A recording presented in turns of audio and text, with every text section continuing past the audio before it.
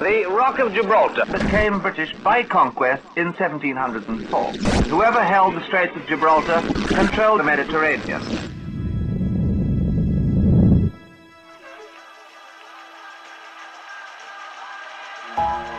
Éramos un solo pueblo. Aquí nadie se planteaba, tú eres de la línea, yo soy de Libertad, o yo soy de Libertad y tú eres de la línea. Cuéntale tú o se lo cuento yo de cuando los conocimos.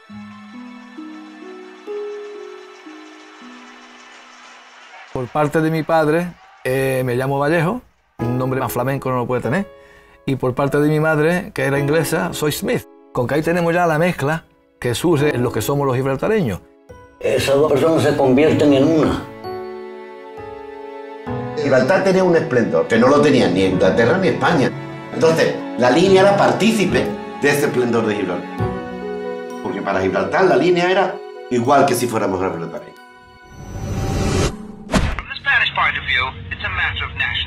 Tenía que ser, tenía que ser porque el gobierno que había dice, señores, esto es vuestro y esto hay que erradicarlo. Adolf Hitler quería invadir Gibraltar.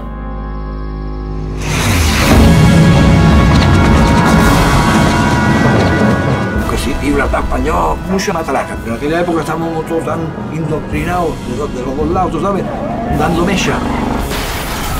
Franco se lo tomó que es mío. Y como no lo decolonice, voy a cogerlo. La Sierra Carbonera, aquí en la línea, llenito de tanques. The Spanish government had closed the border, fascistas, criminales, hijos de puta. cut off completely from the mainland.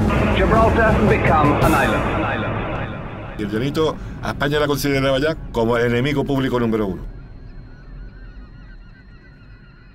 Si a una persona se le pierde el respeto, ese matrimonio difícilmente va a funcionar. O allí aquello era como el muro de Berlín. Yo estaba, como te digo, muy nerviosa porque ese domingo íbamos a la frontera y vi a mi padre. No claro, pero sabía que el que estaba allí en el otro fondo era mi padre. La Guardia Civil tuvo que pegar muchos palos. Y eso, la gente de Gibraltar, eso no lo perdona. Eso te se queda a ti marcado.